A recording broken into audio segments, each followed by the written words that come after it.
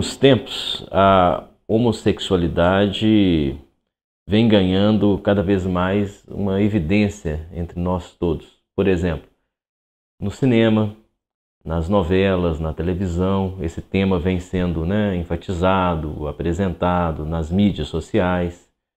No âmbito religioso, especialmente aqui no Brasil, né, ainda que de uma maneira um tanto quanto controversa, mas a questão da homossexualidade vem sendo falada, debatida, há toda a problemática é, ao redor do que foi rapidamente chamado de cura gay. É, além disso, né, no âmbito jurídico também a questão da homossexualidade ela vem fazendo com que é, a própria instituição do direito comece a vê-la de um modo diferente, comece a mudar de lugar, né? Então questões sobre a união estável, matrimônio, adoção de casais homoparentais, isso vem ganhando cada vez mais a cena também, né, do debate social.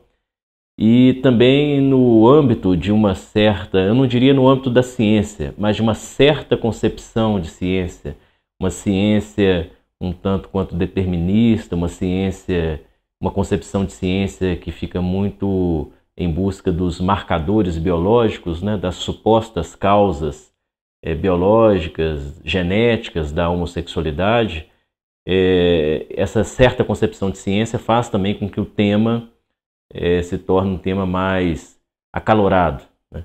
Nesse sentido é que é importante que a gente também possa considerar o que, que a psicanálise, né, em meio a esta cena, o que, que a psicanálise tem a dizer né, sobre a homossexualidade. É, vale lembrar aqui né, uma formulação do psicanalista Jacques Lacan, que eu sempre gosto de mencionar. Lacan lança um desafio, na verdade um convite para os analistas, porque Lacan propõe que o analista ele deve estar muito atento a subjetividade de sua época. Né? Essas questões relativas a, por exemplo, a sexualidade, aos modos de amar, aos modos de sofrer, que, diz, que dizem respeito ao nosso tempo. O analista deve saber localizar no horizonte né, de sua época a subjetividade de seu tempo. Então, nesse sentido é que torna-se urgente, a meu ver, que a psicanálise tenha, né, e ela tem, né, mas que ela venha à cena pública também e que ela participe desse debate. Torna-se urgente que ela fale algo, que ela tenha algo a dizer, ou diga o que, que ela tem a dizer, né, mostre o que ela tem a dizer acerca da sexualidade. E um ponto fundamental é, que me parece que, vindo da psicanálise, que pode contribuir, participar desse amplo e controverso debate, é que a psicanálise, desde a época em que Freud escreve os três ensaios sobre a teoria da sexualidade, isso no início do século XX, a psicanálise ela tem instrumentos, ela tem elementos que proporcionam uma crítica a esta visão de visão determinista da sexualidade. Né? O que seria a visão determinista? Por exemplo, pensar categoricamente quanto ao que é certo, ao que é errado, o que é normal, o que é patológico, então, essas dicotomias entre o certo, o errado, o normal, o anormal, é, a causalidade, né? tal pessoa é assim porque aconteceu isto na vida dela e fez com que ela fosse assim, desde do, do, do, dos, dos encontros entre as pessoas até os supostos marcadores genéticos, a psicanálise, a experiência psicanalítica, ela tem elementos críticos, né? que vão nos convidar a pensar é, estas questões relativas, por exemplo, à homossexualidade, desde um outro lugar, que não desses lugares mais usuais. É, ainda que, que uma certa visão da psicanálise, a gente tem que fazer aqui uma certa crítica, ainda que uma certa visão da psicanálise durante um certo tempo, acabou também proporcionando muito essa visão, tanto quanto estigmatizada, às vezes até determinista da homossexualidade. Por exemplo, houve uma geração de analistas que pressupôs por conta de alguns textos de Freud, mas textos que foram lidos de maneira, a meu ver, muito isolada, muito, né, muito rápida também. Alguns analistas que começaram a pressupor que a homossexualidade, sobretudo o homossexual masculino, né, a homossexualidade masculina, estaria apoiada numa relação tanto quanto intensa e ao mesmo tempo idealizada deste sujeito com a sua mãe. Então a gente tem ali um certo caminho é, às vezes excessivamente explicativo para tentar dar conta da homossexualidade, como se é, a homossexualidade surgisse a partir de uma relação muito estreita, muito idealizada com a mãe. Ora, hoje nós já sabemos que essa visão ela é muito, ela é muito precária, ela não dá conta da complexidade do fenômeno que vem a ser a homossexualidade. E é até mesmo nessa direção que, pensando nessa perspectiva crítica, é que nós hoje temos que ter um certo cuidado e não pensarmos mais na figura do homossexual, o homossexual. Quando nós falamos o homossexual, seja masculino ou feminino, mas o homossexual ou a homossexual, nós temos aí uma ideia errônea de que é, é, é, só há um tipo de homossexual, o homossexual como sendo alguma coisa muito específica, única, determinada. E ao lado disto, ou diferente, né, nós temos que pensar, ao invés de pensarmos no homossexual, que nos, começa a nos dar uma ideia um tanto quanto simplificada, perigosamente simplificada desse fenômeno, é muito importante que nós comecemos a pensar em homossexualidades e não necessariamente no homossexual ou na homossexual. Porque não existe necessariamente esse sujeito, vamos dizer assim, puro, o homossexual, como se só houvesse um tipo. Então, homossexualidades, no plural, e isto é uma contribuição da psicanálise para este debate, homossexualidades, no plural, significa, no mínimo, que nós devemos considerar diversas rotas, inúmeros caminhos, inúmeras situações que confluem para que é, alguém se sinta atraído por uma outra pessoa do seu mesmo sexo, né? seja homem ou mulher. Então, hoje, né, é uma clínica psicanalítica mais atenta, mais perspicaz e, de fato, em, em diálogo mais estreito com o nosso tempo, essa clínica psicanalítica ela vai começar muito mais a pensar nas homossexualidades, caminhos, rotas e compreendendo que a sexualidade é um labirinto, inclusive a heterossexualidade é um labirinto também, então nós não devemos pensar nem no homossexual, nem no heterossexual, porque tanto a homossexualidade quanto a heterossexualidade, mas aqui o que está em questão é a homossexualidade, elas devem ser pensadas sob inúmeras perspectivas. Não há um único fato, não há um único determinante, não há um gene, não há um, um trauma, não há um acontecimento, não há um amor ou desamor que por si só causem, provoquem a homossexualidade, como se ela fosse uma coisa provocada, causada, como se fosse um acidente que deveria ser evitado. Nós temos caminhos, temos rotas, temos inúmeras situações que podem conduzir alguém a esta relação com o desejo, né? muito mais do que simplesmente a escolha né, de um parceiro ou de uma parceira como objeto sexual.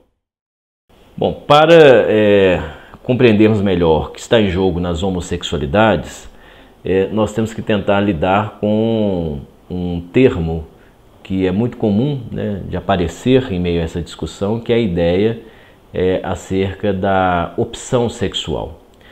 É, opção sexual é uma expressão muito simplificadora porque pode nos levar a compreender é, que a sexualidade, a nossa relação com a sexualidade, funcionaria como tal como self-service. Eu entro no restaurante, eu monto meu prato, né? eu monto o que, o que me apetece. É, opção sexual é um termo tanto quanto enganoso. Em psicanálise, nós tendemos a pensar muito mais na escolha, que é um termo também perigoso, escolha de objeto, ou mais precisamente em sexuação. É, e o que, que, está em jogo né, neste raciocínio? O que está em jogo é exatamente a ideia de que a sexualidade, seja ela homo ou hétero, a sexualidade ela, ela está baseada numa ampla plataforma, uma plataforma complexa, da qual né, inúmeros elementos fazem parte, né, interagem, se interarticulam. Quais elementos? No mínimo três, como, por exemplo, a identificação. Então, os traços identificatórios, a identificação participa da sexualidade, a rota do desejo, ou seja, os caminhos e descaminhos do desejo, e fundamentalmente a fantasia. Então, é, o que conduz alguém a se mostrar enquanto homo ou heterossexual, né, se mostrar nesse sentido, né, a verificar a direção do seu desejo em uma ou em outra dessas duas situações possíveis. Né? O que conduz alguém a essa situação é esta plataforma complexa, da qual fazem parte esses elementos. Então não se trata simplesmente de uma opção, não se trata simplesmente de uma demarcação do outro ou do objeto. Né? O que está em jogo aí por exemplo, é a fantasia, dentre outros elementos, e a fantasia é algo extremamente complexo, que é muito mais ampla do que necessariamente a demarcação de uma escolha é, supostamente genética, de, demarcada geneticamente ou patologicamente de alguém. É nesse sentido, então, que nós temos que tomar um certo cuidado com essa tendência é, atual, esse, o retorno dessa tendência a uma patologização da homossexualidade. Porque é, a patologização da homossexualidade ela tem implicações políticas, tem implicações sociais muito sérias, além das implicações singulares, das implicações subjetivas sobre os próprios sujeitos e as famílias desses sujeitos. Então, são consequências muito importantes, de longo alcance. É, nós temos que tomar muito cuidado em relação a essa tendência. A psicanálise, então, ela participa criticamente, é, nos alertando quanto a esses riscos. E eventualmente surge a pergunta para o analista, né? Mas e o chamado homossexual egodistônico? Ele não deveria ser tratado, terapeutizado? O que é o homossexual egodistônico? O que essa expressão quer dizer? O egodistônico significaria, em tese, aquele homossexual que está em conflito com ele próprio, que não está bem é, quanto à sua condição. Então ele está, em, ele não tem uma sintonia com ele próprio na sua condição. Daí a homossexualidade ou o homossexual egodistônico. É, se nós buscarmos um tratamento para esse sujeito, nós temos que ter muito cuidado, porque é, teríamos que também buscar um tratamento para o heterossexual ego-distônico. Ou seja, na mesma medida, na mesma forma que pode haver um homossexual que não está bem com ele próprio, há também né, o heterossexual que não está bem com ele próprio. Aliás, né, a nossa relação com a sexualidade é sempre uma relação que pode ser atravessada por algum tipo de impasse, por algum tipo de dificuldade, independente de estarmos em uma circunstância homo ou heterossexual. Então, se, é, se houver um dispositivo clínico disposto a tratar né, do homossexual egodistônico, teremos também que nos haver, e a problemática então vai ficar muito mais ampla, com o é, heterossexual egodistônico. Ou seja, o que eu estou querendo dizer é que essas tentativas de correção, essas tentativas terapêuticas, é, geralmente muito apressadas, elas são extremamente perigosas, porque o pano de fundo que sempre se coloca é esse pano de fundo já antigo, que retorna de tempos em tempos, nocivo para a sociedade como um todo, que é esse pano de fundo da patologização. Né? Pressupor que existe ali uma patologia, pressupor que existe ali algo a ser corrigido e que nós devemos intervir em relação a isso.